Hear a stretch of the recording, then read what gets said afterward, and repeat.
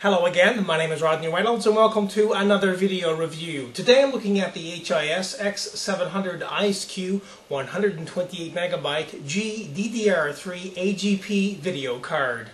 Included in this package is a user's manual, an installation CD and software, an expansion slot cover, an S-video cable, a mini DIN to RCA cable, an HD TV output cable. This end goes plugged into the video card and these ends go plugged directly into the HD TV. Also included is a DVI to VGA adapter and the video card.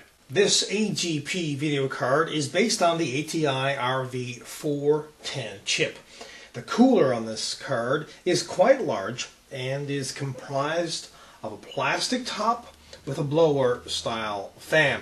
Now this fan pulls in cool air and forces it across the heatsink, then ports all the warm air outside the case. It's an excellent design that works very well and is used on most HIS video card products.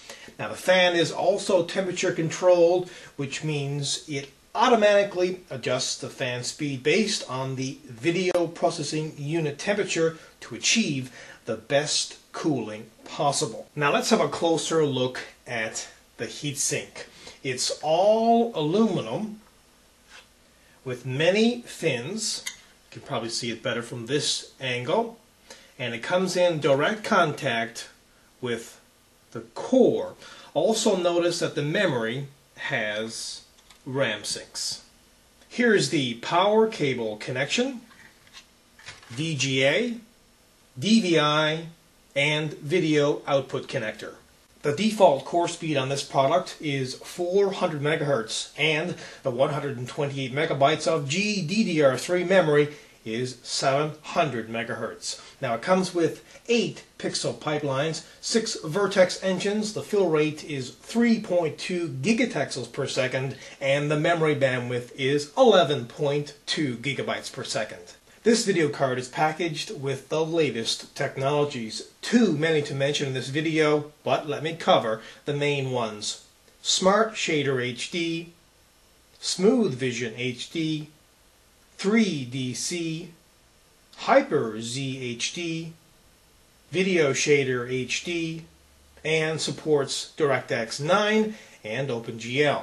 Now, as I mentioned earlier, this video card has two video connections, VGA and a DVI.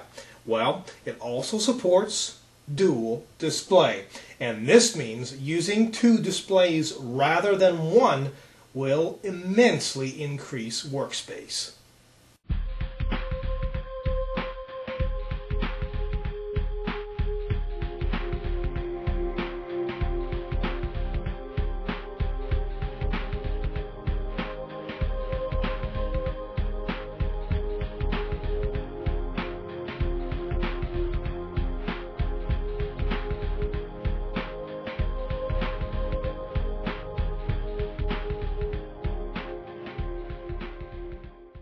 One important thing to remember is that this card is AGP, not PCI Express. Most new motherboards on the market need to have a PCI Express video card because they have a PCI Express slot, not an AGP slot. If you have an older motherboard and you want to upgrade your video card to something a little faster, then this is definitely an option for you. Now remember, this particular card is not the highest end product on the market and it's not the lowest end product on the market either. It's middle of the road.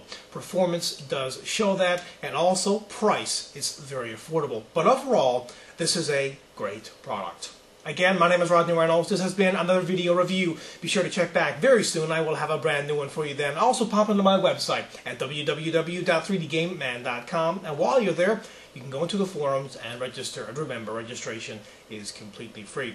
Also keep in mind, you can find out a lot more on this product in the forums.